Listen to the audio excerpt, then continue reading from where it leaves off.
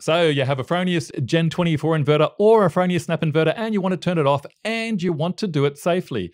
In this video, I'll explain the safest shutdown procedure and I'll explain what might go wrong if you do it the wrong way. I'm Mark from MC Electrical in Brisbane, and this is part of my Know Your Solar series designed to help answer the most common questions that we get from customers after their solar is installed.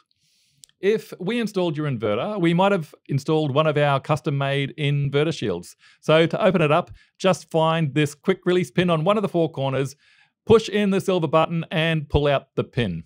Too easy. Okay, there's two switches that you're going to need to turn off, but you'll want to do it in the correct order.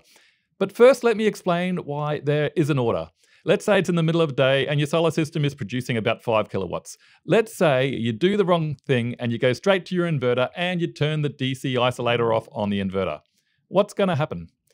Well, if you've ever jump started your car with jumper leads, you'll know that DC power arcs when it is broken under load.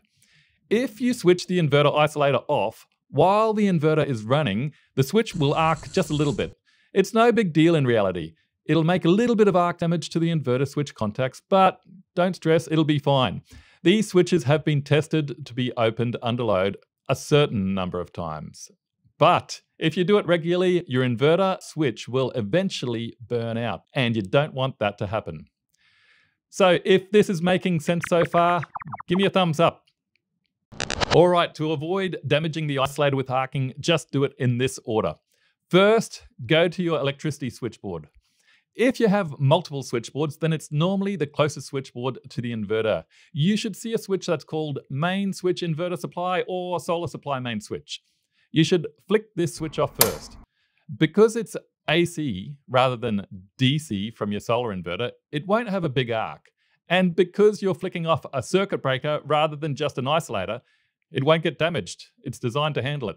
And as soon as you turn this off, your inverter will stop producing power. Now, when you head back to your inverter, because your inverter has already stopped producing power, it is now 100% safe to turn off the DC isolator with no arcing. If you have a Fronius Gen 24 inverter, the switch is on the front of the inverter. So just turn it anti-clockwise for a quarter of a turn, so it is pointing towards the O. It takes a bit of a force to turn it, so don't be afraid to give it some. Uh, wait for 20 seconds or so, and if all the lights on the inverter turn off, job done. If you have an older model Fronius snap inverter, the DC isolator is underneath the inverter on the left-hand side. When it is on, the switch is facing towards you.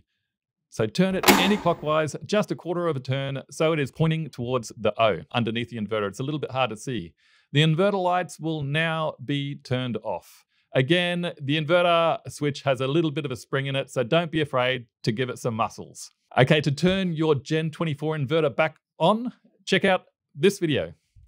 And to turn your snap inverter back on, you can also check out this video. I'm Mark from MC Electrical in Brisbane. Thanks for watching.